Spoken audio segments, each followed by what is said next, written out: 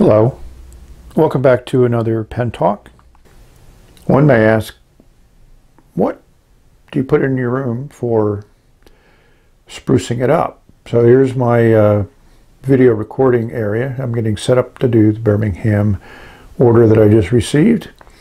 But if we scroll over past the closet, we'll see some interesting photographs up on a wall. And these are great because these are from Owaski Squirrel. I think he does excellent photography and I was very fortunate that he sent me some. As you can see there's some reflection there on the glass. But they're just really nice and I think the four of them form a nice little theme and I can look at that and reminisce about his video on the trip to the bridge and there's the mountains, there's the rabbit that may have decimated his garden, and this is something I haven't heard about, which I really love as an old farm tractor. So that's what's really nice, and now I have some nice decoration on a wall that was plain before. Thanks for tuning in. Today's subject is going to be uh, another order that I placed with the Birmingham Pen Company. I've been very impressed with uh, the nibs. I bought pens from them, some Nemosyne pens uh, via Amazon. They were uh, a lot of stuff was being sold through Amazon, but I feel it's better to go direct uh, and buy them from Nick. So this is my order, and as usual, uh, Nick includes a little personal note. He hand tunes the pens. He apologizes about not getting them out within 24 hours. So I just think that's really excellent. And as I showed you before, you get a nice little packing slip in case you forget what you order. So that's really nice. You get a lot of emails that let you know about the order, about the shipping, and of course I got notification when it was delivered and went to the mailbox and picked up the package. So I ordered four things and, and Nick included a fifth, which uh, I'm very pleased with. So obviously we got some inks. And uh, the navy blue is the one that I ordered, and he included the waterfront dusk is just something he wanted me to try. So uh, the two pens you see here have been inked up with these two inks. Always nice to get a little notepad that has Tomoe River paper in it. So this uh, is going to be my next ink journal uh, when my one I'm using now fills up. I ordered this Knox pen because I don't have a Knox pen. I think black and silver is a classic combination, and so I wanted to try it. And you know, if you when you order these uh, from the Birmingham Pen Company, you get your choice of all the different varieties of Knox nibs. So I got my oblique double broad in here, and that's just really nice. So for not much more than the price of a nib, you get an excellent pen with a nib in it that you can really have some great fun with because the nibs uh, have a great variety of sizes uh, available to you. And this is something else that Nick uh, threw in there. So this is a, a Bulow pen. But those of you that are familiar with pens made in China, this may be extremely recognizable to it. Um, my friend has this exact model. It has the same type of interesting engraving here on the clip. It has the X750 on it, but instead of Bulow, it says Jinhao. So that's what this is. But it's a branded Bulow nib too, and Nick sells Bulow nibs for a very reasonable price uh, on his website. And last but not least, um, you know I'm not a fan of packaging or anything else like that, but one thing that's nice about what you can do from Birmingham Pens is you can buy a pen, and if, obviously it's going to come with uh, no packaging, but if you want packaging for a very reasonable fee, you can get this very nicely done uh, leather stitched case, which you open it up and you can see some more engraving here, nice soft material. So great presentation case. So that's what's really nice because uh, some of us just buy pens for the pens and not for the packing material. So here with uh, Birmingham pens, you get a choice of uh, buying the packing material separately if you would like to add that to your order especially if you want to make it a gift item. So next we're going to do is, um, these pens have been inked up for a while. I've been writing with them for a while, so we're going to put nib to paper, show you what the colors look like, and show you how these nibs work. I don't have a Jinhao X750, but I have a, a couple 450s, and that's the one here that's nice. It was a gift from Larry. Here you have that Bulow pen, and here's a 78G, just to put things in perspective, and we'll uncap them and show you the nib section. So they're all pull-off caps, standard cartridge converter. Um, the caps are very secure. They post nicely, and, and they're pretty big. We'll give you those lengths uh, so you can put them in perspective. And just threw the 78G in there just as a comparison. So if we focus in on the business section, you know, one of the things about at least the 450, it has a contoured uh, section in it, so it kind of uh, positions your fingers in a certain way where the Bulow does not. You know, they both have that, um, you know, metal cap and step here at, um, or metal ring and step here between the section and the barrel. They have a metal ring at the bottom of the section, which is nice. And of course, the 78G is just a completely different animal unto itself, but I just wanted to put things in perspective. These are both number six nibs, so you can swap a lot of different nibs in there, you know, Goulet, Jinhao, uh, Jowo, whatever. Um, so that's that's kind of nice. So let's see how this nib performs. So in the Bulow X750, I put the navy blue ink. And again, there's a little write-up on uh, the name of the ink and how it came to be about. So if I did the normal chromatography, um, you'll notice that this has similar uh, color characteristics that Dusk had, but it's definitely a stronger pink there. And there's a little green in it.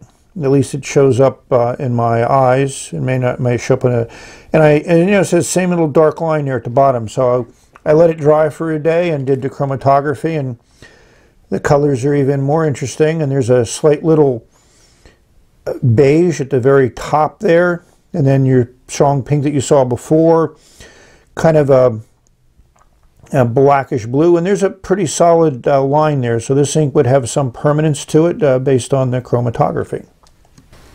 So this pen feels fine in the hand, um, unposted. It posts okay, doesn't change the balance much. It's, it's not that heavy of a pen considering there's a lot of metal in it. So let's uh, put some ink down. So one thing that's nice is the, the nib is quite ornate and it is uh, has the name of the pen brand on it. So it's one of the things that uh, you know makes it interesting. So why does Jinhao have a Bulow brand? I couldn't fathom a guess. My theory would be maybe Bulow is less of a Chinese name than Jinhao, and it's made more for the global markets, but I've not seen it other than on uh, the uh, Birmingham Pen website.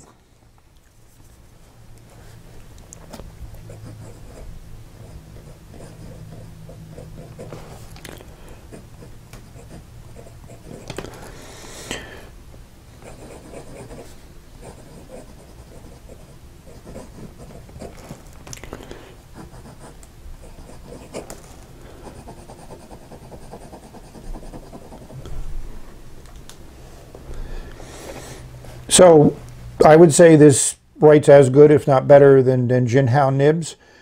I certainly find it to be a very pleasant writer.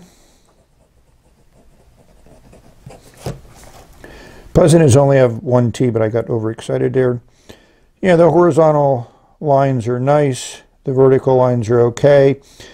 And as you can see, you can actually railroad it, and it's, I wouldn't call it soft or flexy, but it's certainly nice and you know, if you want to put some pressure on it on the downward strokes, you can certainly get some line variation. It's like a almost a 3x. So overall, this is a fine pen.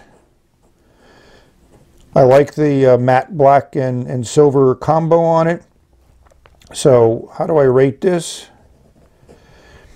I'm going to go with a 5.5. Um, I'm not going to give it a bigger rating because there's, there's nothing really unique about it. It's it's well made, so I think it rates more than a 5, but um, we're not going to go above that. So let's transition over to the Knox pen. So for comparison on the Knox pen, we got the 78G again, so you're going to have one pen that's going to be in common with uh, comparison to both the Bulow and the Knox. Then a Jinhao 992, which is, I would say, your standard cigar-shaped mid-size pen and your Knox. So uh, the Knox is a little bit longer. Uh, both of them, you know, the, the clip on the Knox is also done well. You know, there's a, there's a nice curve there. Uh, so it's easy to slip on and off of thick fabric. It has some decent uh, spring to it, so it's not going to come out. You know, there's a branding there on the cap band. Not the model, but, you know, obviously the uh, manufacturer. Posted, the uh, Knox is the longest pen of this trio. Uh, they all post securely, post relatively deeply, and, and you can use these either posted or unposted if you're going to write with it. And if we zoom in on the business end, you know, these are standard sections, a little bit of concave, a little bit of flare out at the end. You know, all these sections are pretty common. I mean, the 78G is the thinnest followed by the Knox, and then your uh, 992, which is actually probably a little bit uh, above average, just considering the size of the pen. So it's a good size section for those people that enjoy a little bit more girth uh, between their fingers. So I put the uh, waterfront dusk ink.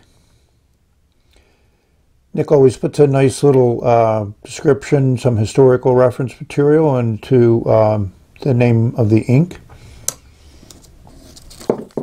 This is the chromatography, and it's kind of interesting. So um, you definitely have a blue component to this, and kind of a pink, but it's not really a pure pink. It's, it's kind of hard to describe. So, uh, and also it seems to be some permanence there because you've got a little bit of a dark gray line there at the bottom. So this pen uh, fits fine in the hand, unposted.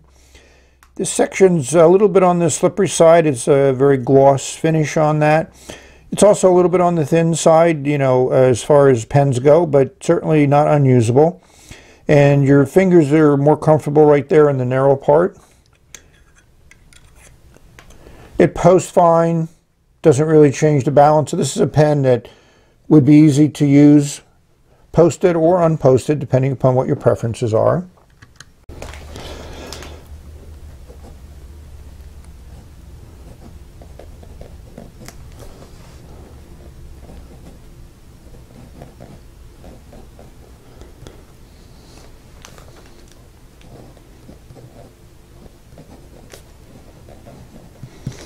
See a little skipping. It's hard to write over the camera, and this oblique double broad nib is a little bit sensitive to angle. But this is unbelievably wet.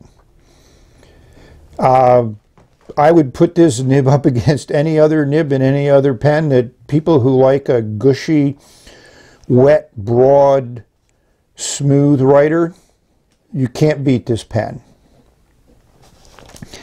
I mean, that's easy to lay down a beautiful patch of ink, very wet ink. So this is the uh, musk, which is kind of a purplish color. And uh, one of my viewers commented on these inks from Birmingham are smoky, and that's a beautiful description of how these colors look when you put them down on paper. So how would I rate this pen?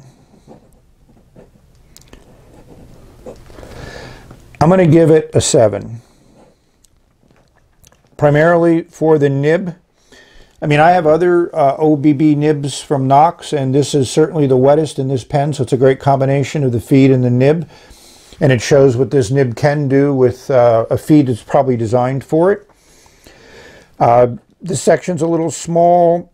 You know, the quality of the build is nice, but it doesn't wow. So the 7 is basically based on the nib and, and very little uh, in regards to the other pen. But for somebody who wants uh, on the small side pen with a beautiful nib that really puts out a lot of ink, uh, well made, then this would fit their category. And it comes in different colors. I think I was just in a matte black mood when, when I uh, ordered it.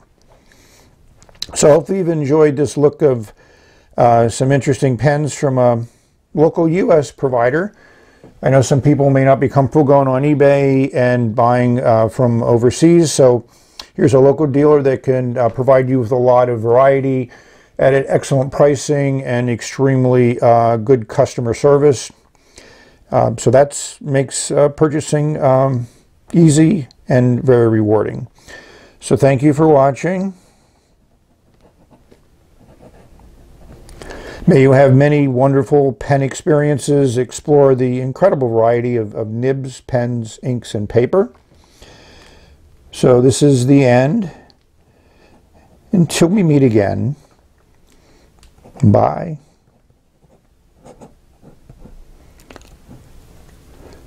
Yes, if you don't do the right angle, you're not going to get it. But when you hit this sweet spot on this nib, it is a wow. A second. Bye-bye.